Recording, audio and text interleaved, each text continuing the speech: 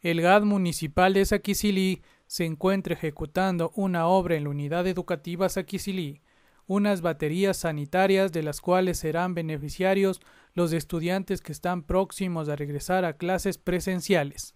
Tania Yamuka, fiscalizadora de la obra, nos comenta ¿Cuál es el objetivo? Estamos en el inicio de obra de la construcción de las baterías sanitarias de la unidad educativa Saquisilí. La obra consta de lo que es la, eh, la, construcción de plintos, columnas, mampostería, paredes, todo lo que es la edificación de las baterías sanitarias. También van los mesones, también van las unidades como los inodoros, los lavamanos, todo en sí para la juventud de Saquisilí. Los beneficiarios en sí eh, son, la, como lo dije, la juventud de Saquisilí, porque es la unidad educativa, y en sí para todo el cantón.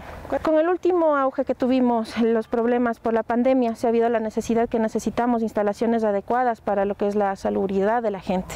Entonces el objetivo principal es darles todas esas facilidades para que tengan toda la higiene completa en sí, la, la juventud sobre todo, que próximamente según las nuevas disposiciones volverán y tenemos que estar preparados para eso. Sí, porque estas unidades eh, o estas baterías sanitarias ya están constando de todos los implementos necesarios, también de una rampa para los minusválidos y un espacio para ellos también. Entonces ya están adecuadas y sobre todo la ergonomía de, de cada uno de los estudiantes. Edwin Toro Tipán, contratista de la obra, nos comenta el presupuesto y para qué tiempo se tiene pensado terminarla.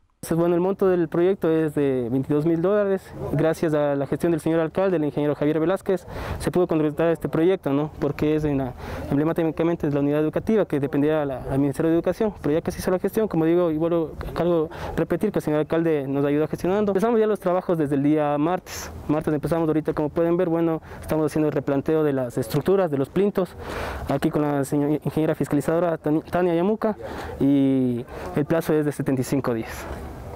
Ahorita por el momento estamos como son los trabajos preliminares, empezamos con tres, tres trabajadores. A futuro, mientras ya tengo que seguir avanzando, voy a seguir incluyendo a la gente, más o menos eh, esta obra tiene que ser con unos 10 personas.